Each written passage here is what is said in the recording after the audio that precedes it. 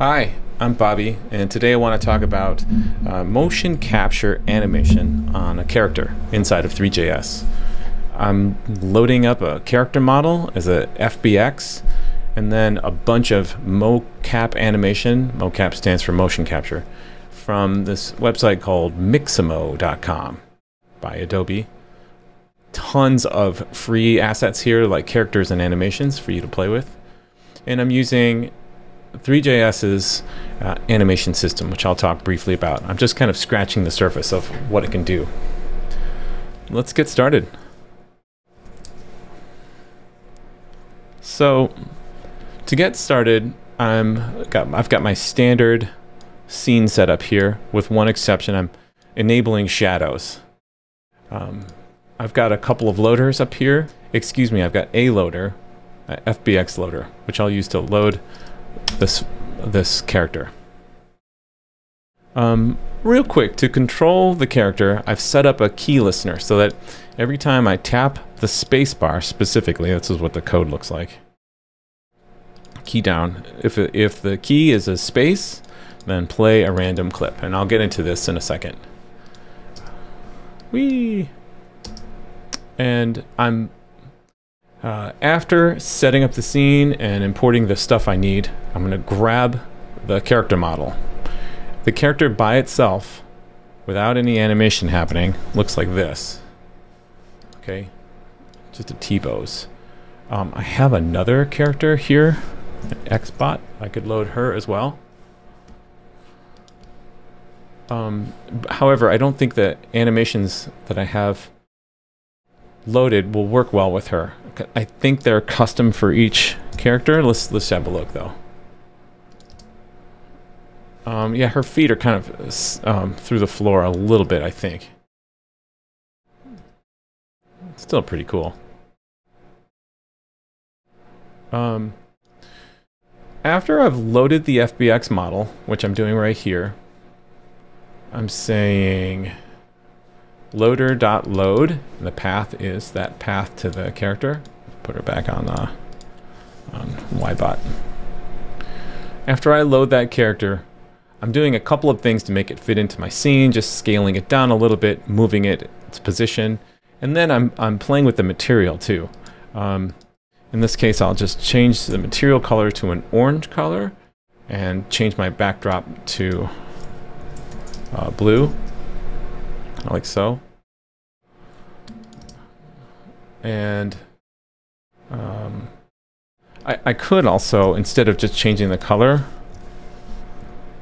I could go get a different material, in this case, uh, matcap material, which I think looks really cool. I happen to have a couple other matcap textures. Um, let's try silver. That's what that looks like. Close this. Oh, doesn't look as cool. Fire Edge Blue.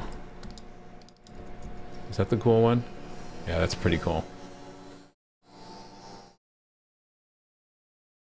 Uh, I really enjoy watching that. Watching him get electrocuted. Sorry, buddy. Alright, I've loaded the model. I'm adjusting it, applying a different material. Then I create an animation mixer. An animation mixer in Three.js is a way to play, stop, um, merge and blend animation clips. Animation clips are what are created from these things, these different animations.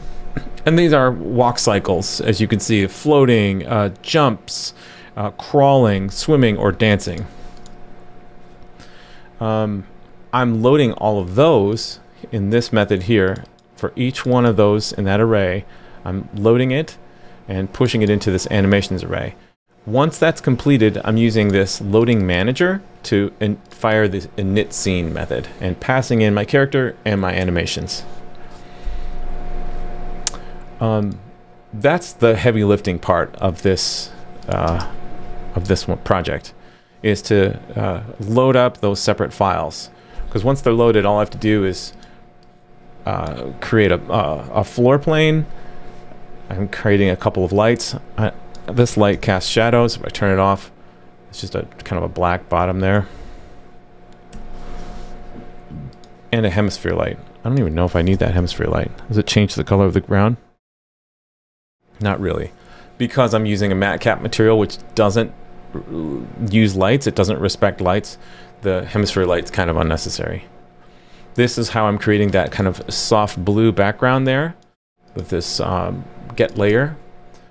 Um, you can see that I can change the background hue, which is kind of weird because he's got a, a blue glow on him, but the background's purple. I guess that's a little bit closer. That's probably the closest. Um, yeah, and then I'm looping. This is my main animation loop here, uh, where I'm telling, I'm updating the character, and all that all that update method is doing on the character is just uh, telling the mixer to update. Uh, I mentioned that the animation mixer controls playback. As such, you can slow down the playback. Um, this is kind of like the time step, as I understand it. Oh, he's getting electrocuted in slow motion. Uh, the other way to do it is to speed things up, which is gross. Slow it down again. Slow motion electrocution. So cool. Um, I think it's fun to play random clips instead of just cycling through. So I'll, I'll pick a random clip each time. And let's let's move the playback speed back to something more real time.